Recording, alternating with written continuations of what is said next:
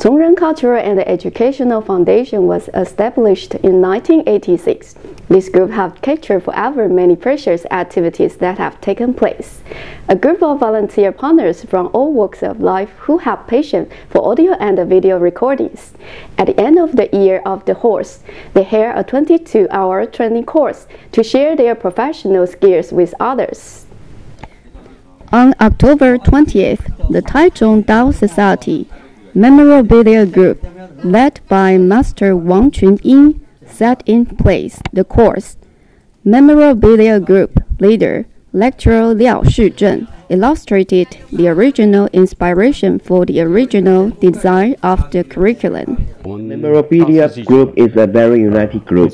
Each member has a sense of mission. Since we have imagination and creativity in abundance, there must be technical skills present in order to highlight our internal talent. This is our most important purpose of having the course.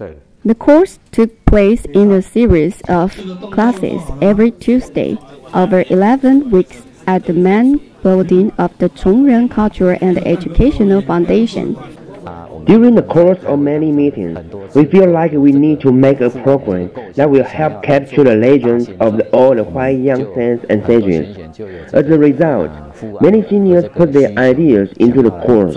The first lecture, given by lecturer Zhao, is on a digital camera technique that can be used to enhance one's photography skills. Second lecturer, Mr. Huang, shares his acoustical control techniques. We need to better the acoustical control performance in the Dao Society. The third lecturer, Mr. Zhuang, gives the learners some tips on using the Vegas software. The lecturers are very experienced with more than 30 years of participation in this area. Lecturer Xiao Wenhong is an expert at digital photography. Lecturer Huang Yanren is an expert at audio monitoring skills. And the lecturer Zhuang Lianxiang knows the digital video process ever so clearly. They combine theory and practice in the course. I feel like I brush up my skills in this course. It will help for the coming progress of making videos in the future. I feel that it's very interesting and practical because I like to learn something new. I'm very interested in taking this course when I heard it was going to take place in the temple. I learned this software because I can take photos and make audio and video files after many activities.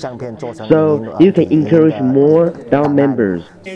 The course will continue up till the Lunar New Year. In the Year of the Horse, the Chongren Cultural and Educational Foundation volunteers will continue to put effort in enriching themselves and getting ready and in perfect shape for the next 100 years of Chongren history.